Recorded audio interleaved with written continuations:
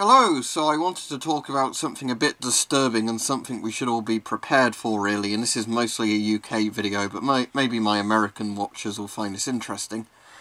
So I've got this mask on as a prop and I'll probably take it off fairly soon if you can't hear me very well.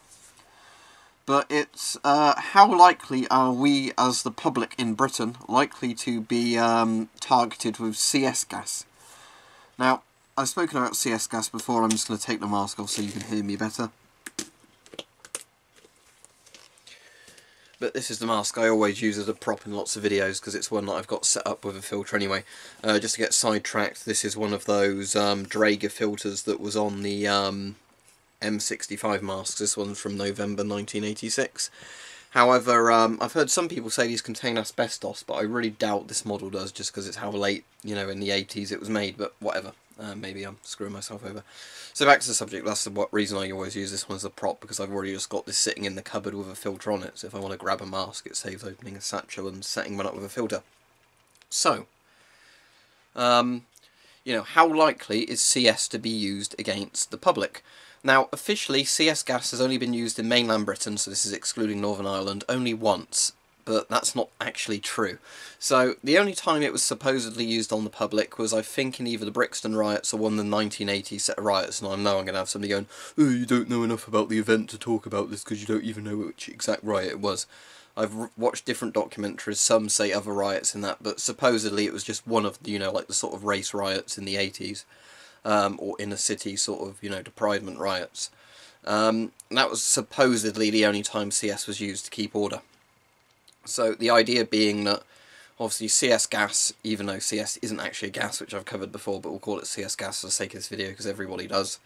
CS gas is sort of very good at crowd control because you can sort of spray it into an area, um, it will distribute, and then it's very uncomfortable to stay in that area. Your eyes burn, your mouth and your nose burns, you know, you've got snot and phlegm everywhere, sort of you're crying almost, um, you know, your eyes are filling up with fluid. So, um, you know, it's not nice to be around it.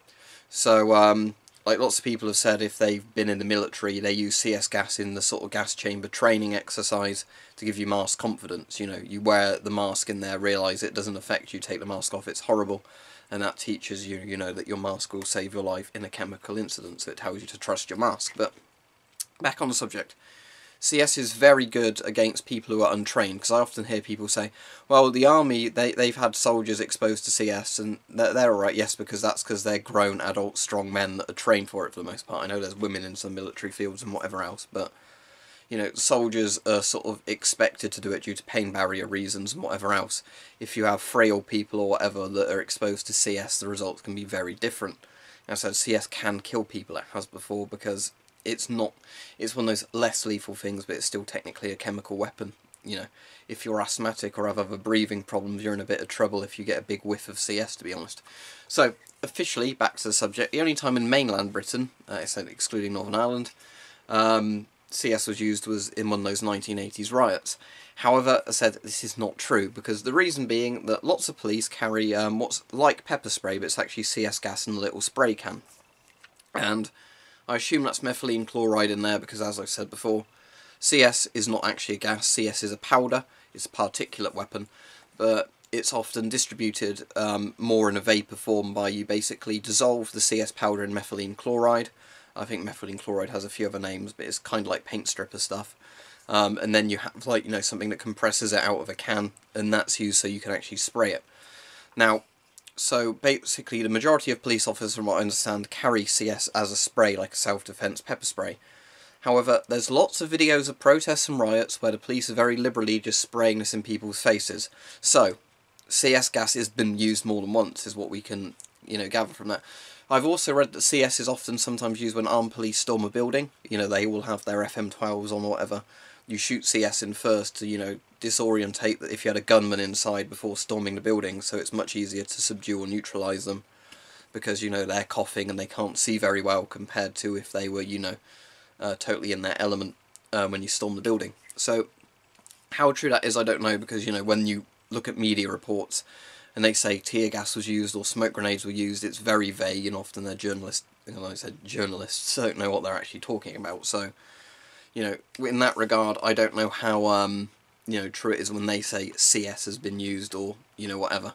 But the point is that police officers have and can and will, you know, use CS gas. It's made available to lots of police.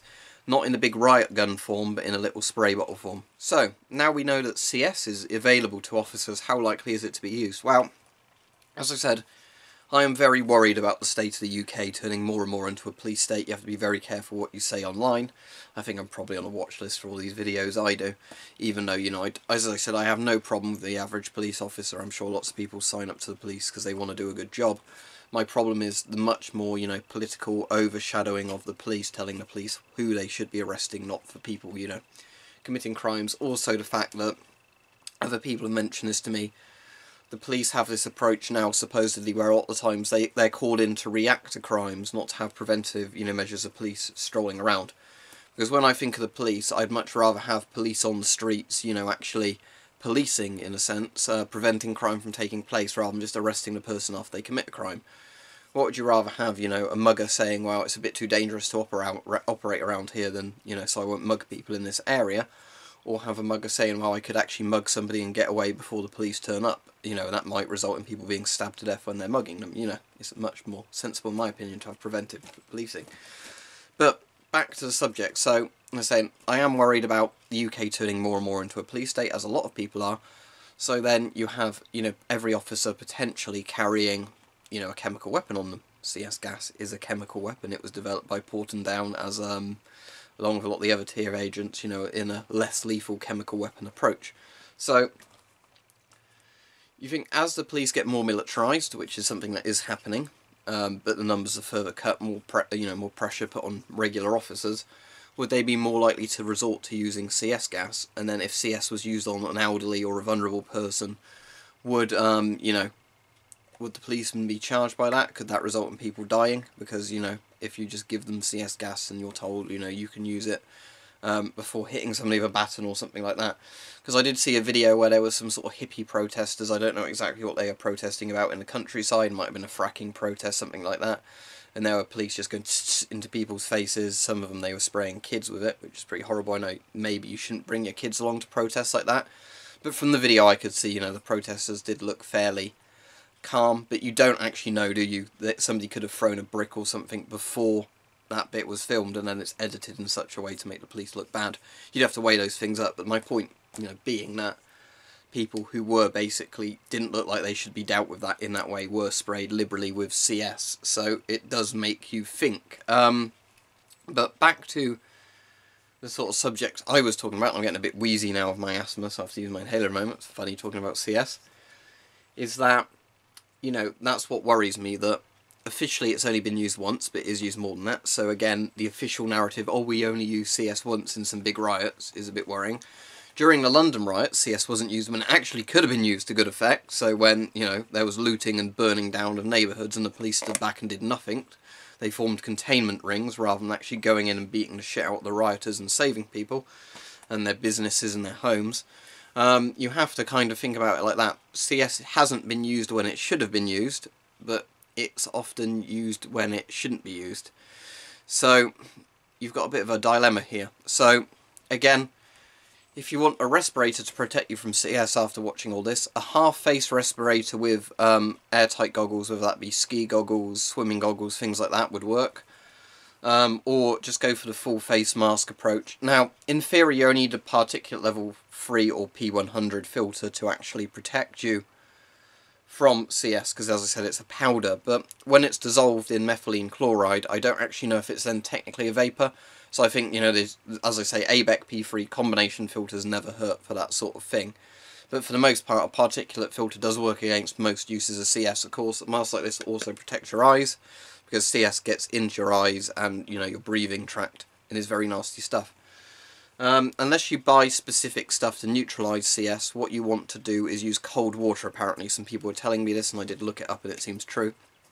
Hot water will make CS worse, um, but cold water it, you know, does give you some relief from the burning and everything else. So, yes, I am a bit more worried that CS might be used against people, chemical warfare against civilians basically.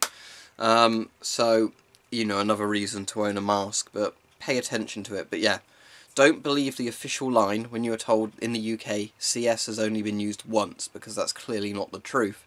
It's only the truth for people who don't want to dig into it. It's only, you know, been used in a riot once by being fired, you know, like ferret rounds kind of thing, once, like that. But in terms of regular police being issued with CS and being able to spray it at people, um, they can do that whenever they want. I mean, I know there's paperwork and whatever else. Red tape, maybe they'll get a disciplinary for it, I don't know. But the fact is that, you know, CS is available to the police force in the UK, so it might be used against you.